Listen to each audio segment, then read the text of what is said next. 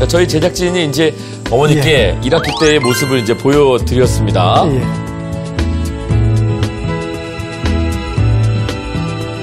아, 2학기 때는 그래도 좀 수월하지 않을까? 1학기 때에 비해서. 음. 그래도 또 익숙한, 좀 친구들도 이제는 많이 익숙해지고 편해졌으니까, 예, 학교 생활도 좀 편해졌을 것 같아요. 예.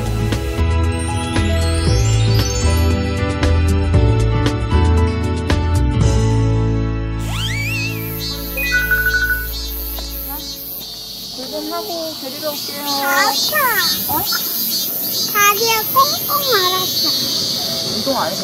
빨리 뛰어가. 늦었어. 빨리 뛰어. 엄마가 지금 수빈이를 어, 이제는 강하게 에, 키우시는데요. 예. 늦었다고 뛰어가라는데. 예. 근데 어, 진짜 운동 신경이 좀 좋아진 것 같습니다.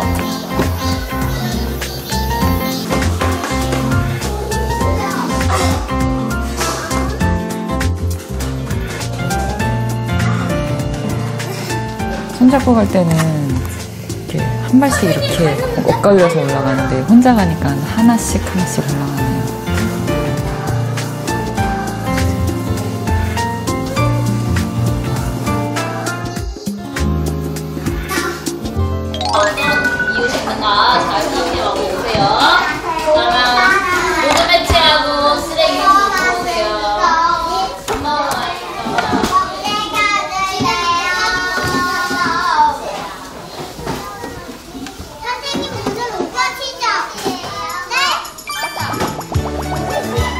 어, 힘이 더 세졌어요.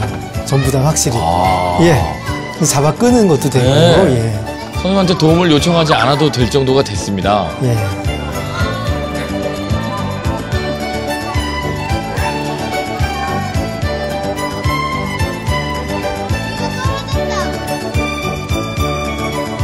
시간이 더 걸릴 뿐이지 얼마든지 할 수 있다는 모습을 보여주고 있네요. 우리 수빈이가. 네, 이제 딱 익숙해져가지고 음, 딱 맞추는 줄까지 이제. 지금 혼자라고 네. 근데 딱 맞춰야 되거든.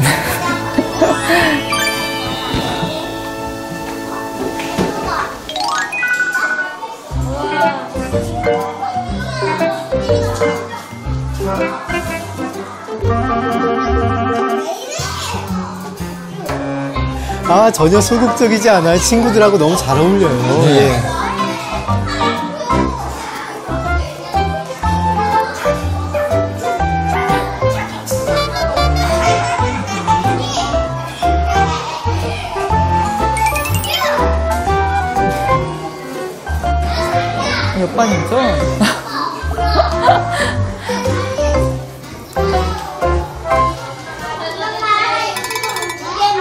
어, 우유. 아, 맞아. 우유를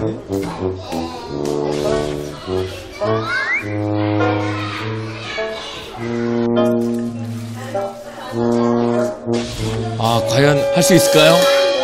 혼자서 우유를 딸 수 있을까요? 오!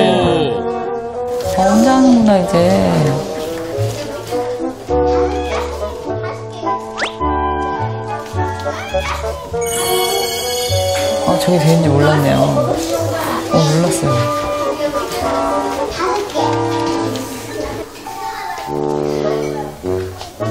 혼자 다른 거 처음 보셨어요? 네, 네, 네.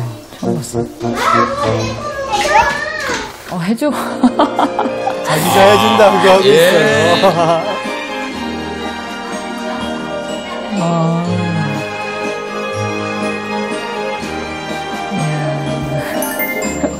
음,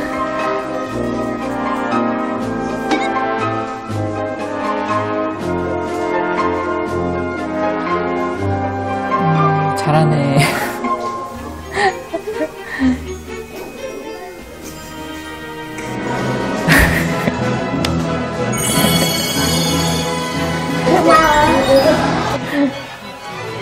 도움을 받는 수빈이에서 예. 친구를 도와주는 수빈이가 됐어요. 예.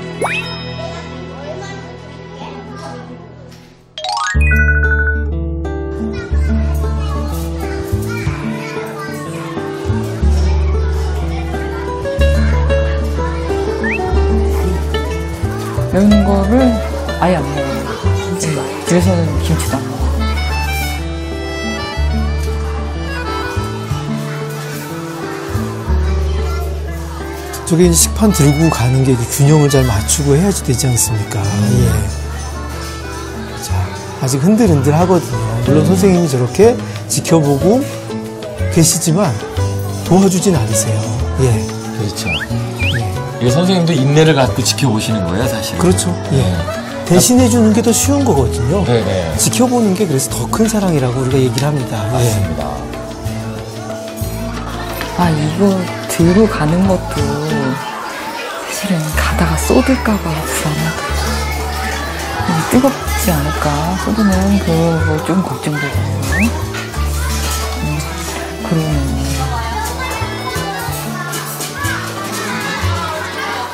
아, 씻어 먹, 먹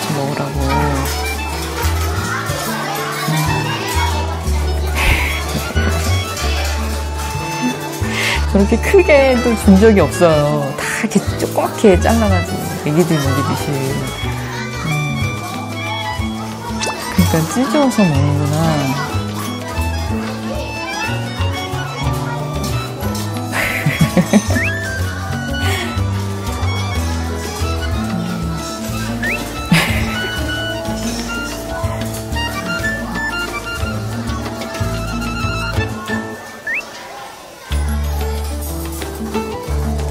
매워.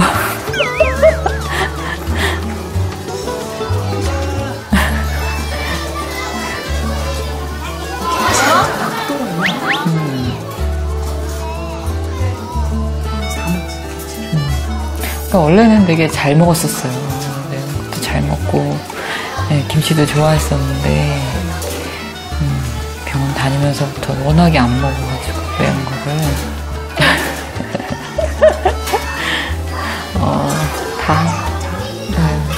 네, 처리까지 다 하고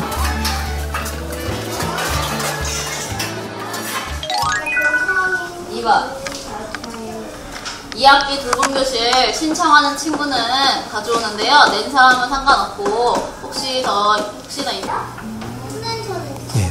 수빈이가 아직, 아직도 한글이 잘 되진 않고 있어요. 탬버린을 써야 되는데 예.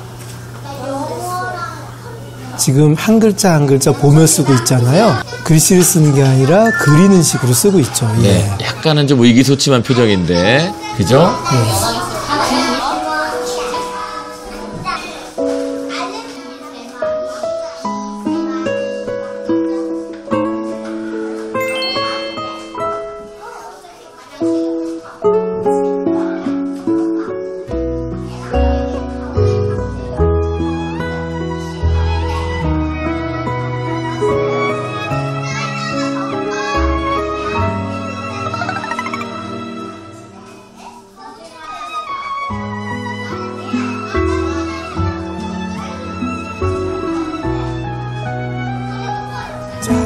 원래 이렇게 모두가 다 맞춰야지 집에 갈 수 있거든요. 아이들 집에 빨리 가고 싶지만은 수빈이가 다 쓸 때까지 기다리고 있는 것 같아요. 네네.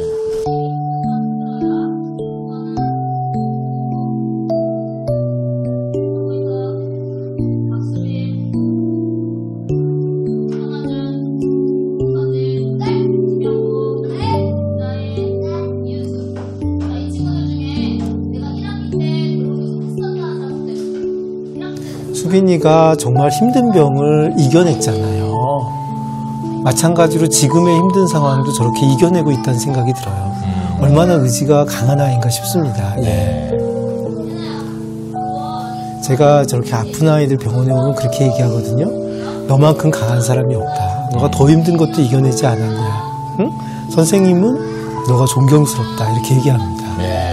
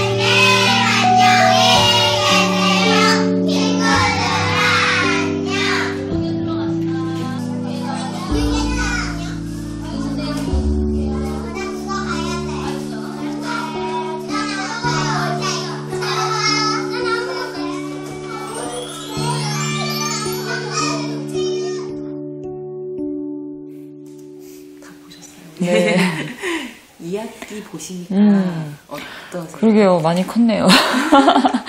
엄청 많이 좋아졌네요. 네. 지금 너무 씩씩하세요. 네, 네, 네.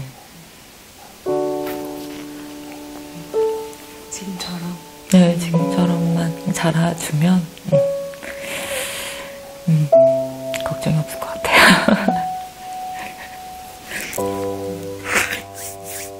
저는 좋은 선생님 만나고, 좋은 친구들 만나고, 네,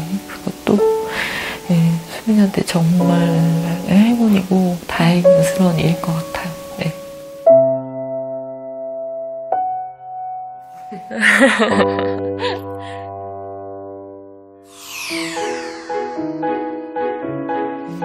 수빈아, 어, 엄마가 걱정을 많이 했는데, 너가 학교 생활 잘 할 수 있을지, 어, 친구들하고 잘 지낼 수 있을지 걱정을 많이 했는데, 어, 엄마가 생각했던 것보다 너가 너무 씩씩하게, 음, 잘 해줘서 너무 고맙고, 음, 늘 지금처럼 친구들한테 받은 거 그리고 너가 선생님한테 받은 어, 주위 사람들한테 받은 사랑 잊지 말고 너도 지금처럼 음, 그 받은 사랑을 되돌려줄 수 있는 그런 사람이 됐으면 좋겠어.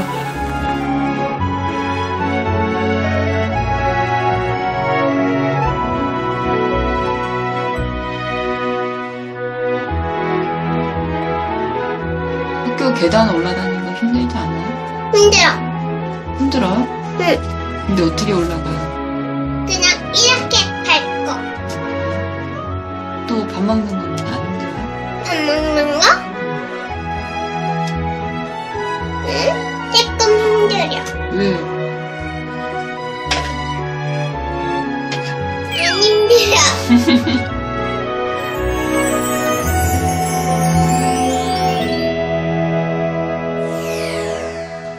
자, 이렇게 해서 어, 우리가 수빈이의 하루를 지켜봤습니다. 아, 이게 참 그 애를 키우는 입장에서는 말이죠. 어, 저도 이제 가끔 그런 생각을 많이 하게 돼요.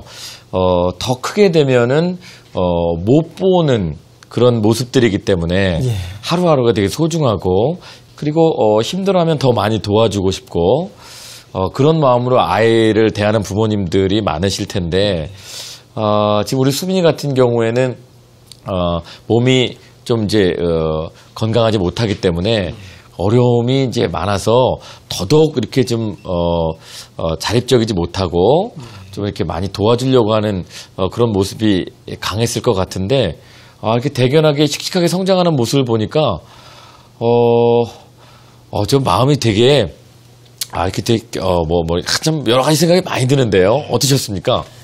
아, 수빈이 모습 보니까 저는 배우는 게 많은 것 같아요. 음. 수빈이를 보면서 저 아이가 저렇게 약한 게 있음에도 불구하고 그 앞, 힘든 병도 이겨냈듯이 음. 오늘 하루하루의 도전도 자기가 자기 힘으로 해보려고 저렇게 당당하게 하고 있구나. 나는 저 아이만큼 저렇게 인생의 힘든 상황을 도전하면서 음. 내가 감당하려고 다 하고 있나 이런 게 오히려 부끄러워질 정도로 네. 우리 수빈이 모습 보면서 배운 게 많았습니다. 다른 아이들도 다 마찬가지인 것 같아요. 오늘 하루하루를 아이들이 스스로 무언가 해보려고 열심히 살아가고 있거든요. 네. 도전하면서 발전하고 있는데 어떻게 보면 어른들이 잘못해서 지나치게 도와준다든가 네. 아니면 부모의 욕심이나 어떤 불안감 때문에 아이들을 지나치게 평가하기 때문에 우리 아이들 스스로 걸어가는 그 발전의 길을 가로막는 게 많은데 네. 약간 뒤로 물러나서 응원하는 태도로 우리 아이들을 봐주면 어떨까 이런 생각이 듭니다. 자, 아, 두근두근 학교에 가면 오늘 순서는 여기까지입니다. 다음 시간에 다시 인사드리죠. 지금까지 서천석 해설위원, 캐스터 김성주였습니다. 시청자 여러분 고맙습니다. 안녕히 계십시오.